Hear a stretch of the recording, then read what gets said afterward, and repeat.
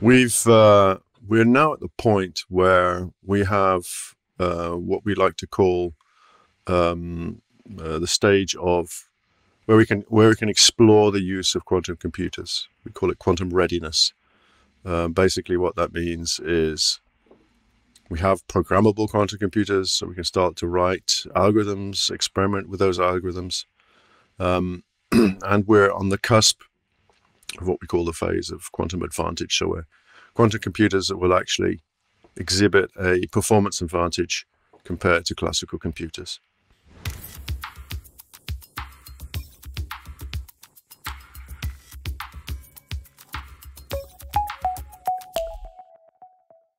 The key activity or the key um, job to be done by both technology providers and customers right now is to explore how we can use quantum computing in detail.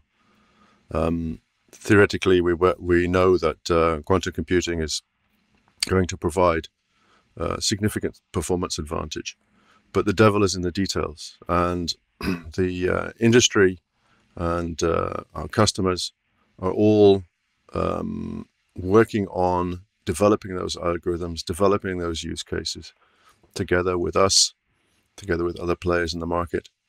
Um, so we're in the phase now of um, um, analogous to the the idea of quantum readiness, to a phase where we're developing intellectual property, basically.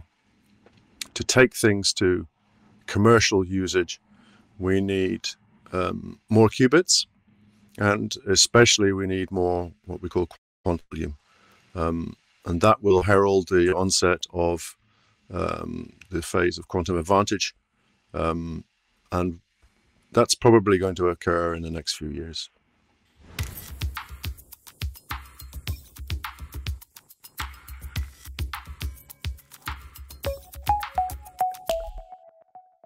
So quantum computing is is applicable to um, problems which are which you can describe as uh, well, what we call a large state space, or something you can transform, a problem you can transform into solving a large state space. Typically, these are problems in from material science, chemistry, physics, pharmaceuticals, uh, problems where you're dealing with physical things. Um, we also know now that there are a whole class of problems around optimization, which are um, transformable into quantum computing representations that we can also significantly speed up. Um, there are, I mean, the classic traveling salesman uh, uh, problem is uh, um, one of them. Uh, graph partitioning, um, uh, binary optimization, um, and these kinds of problems, you find them. It's it's you find them everywhere. Um, they're so ubiquitous and uh, pervasive in our lives um, that the, uh, the I think the impact in that area is going to be the most significant.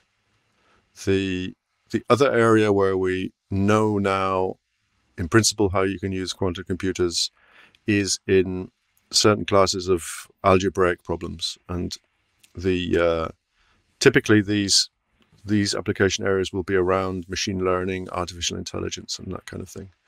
And then there's a fourth area of applications, um, which is probably of most interest to your listeners and viewers, which is around the area of cryptography, um, specifically things like key distribution, public key cryptography. Um, the timescales of when those are going to happen vary.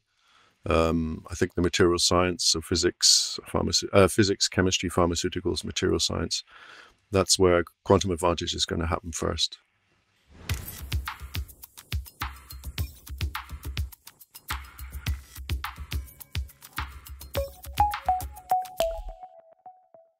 So I, I think at least initially, and certainly with the the technologies we have available today to implement quantum uh, quantum computers, we will see a uh, the initial uh, usage through cloud access. Uh, so quantum computers working in specialized compute centers.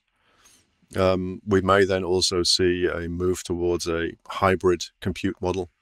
So where um, you may in your compute center have a, a quantum um, a quantum computer as part of a high performance computer or even as part of an enterprise computer.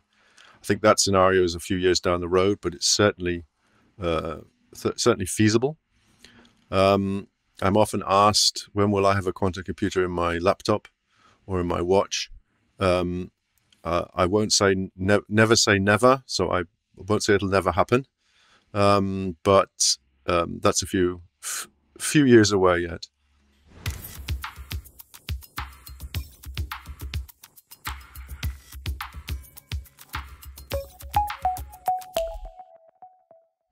So uh, the the primary impact at the moment of quantum computing on public key cryptography and especially on key distribution is still purely theoretical in the sense that we don't have quantum computers that can crack um, commercially available or commercially used um, um, encryption algorithms.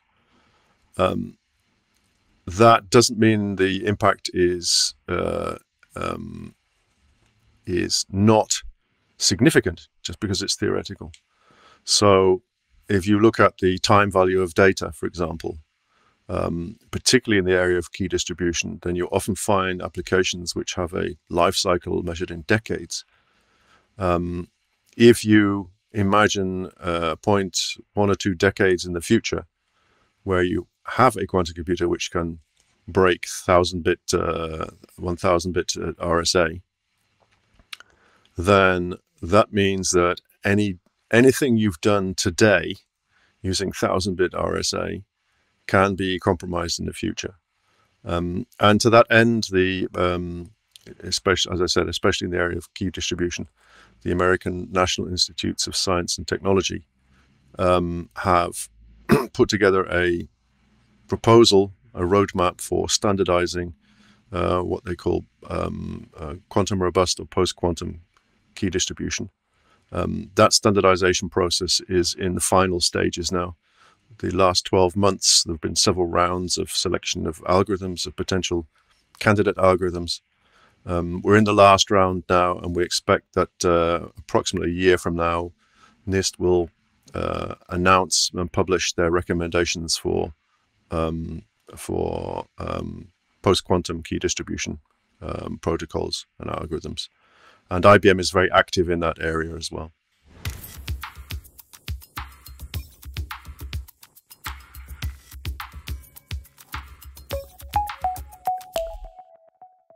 So what we've what we see um, with our customers, people who've joined the IBM Q network, um, at the moment there are two of those who have um, basically um, said we want a full machine, a full quantum computer, so an IBM Q System 1. One of them is in Germany, Fraunhofer Institute. That machine is uh, being installed in our compute center in Ehningen. So the model at the moment, and this is still for research, for joint research, the model at the moment is that that machine will be installed in IBM's compute center in in uh, in Baden-Württemberg. Um, Fraunhofer and Fraunhofer Institutes will have exclusive and complete access to the that machine. Um, I think that model is going to be um, a good way to move forward in the near term. Um, it may at some point become uh, feasible and relevant and commercially um, commercially um, make sense to actually have quantum computers in your own compute center. One thing we've seen when talking about the Fraunhofer machine, one of the key uh, key arguments, if you will, is um, actually having the ability to have compute quantum computing capacity in Europe. Um, this is uh, this is uh, we appreciate this uh, the the the importance of this. Um, that's one of the reasons that we uh, we agreed to put the machine or bring the machine to to Europe. I think that reflects the fact that uh, ultimately people want to have um, sovereignty over their own data. They want to have control over their own data and own alg algorithms, understandably so. So I see a, future where well, yeah, probably quantum computers will end up in the compute center. I think that's uh, uh, quite a few years away, um, but the first step is uh, via the cloud. Um, and I mean, ultimately, uh, our compute models um, over the next few years will be completely virtualized. Um, they are to a large extent now, but uh, I think that transformation is is going to uh, is going to is going to really push the virtualization of everything, um, and then it becomes uh, not so critical whether the machine is actually physically on your premises, but at least under your your direct control. So it's a rather roundabout way of saying I don't I don't know. I'm sure there are situations where customers and uh, will want compute quantum computers physically on their premises, but I think for the uh, for the majority of uh, use cases, uh, the cloud delivery model will be the the winner.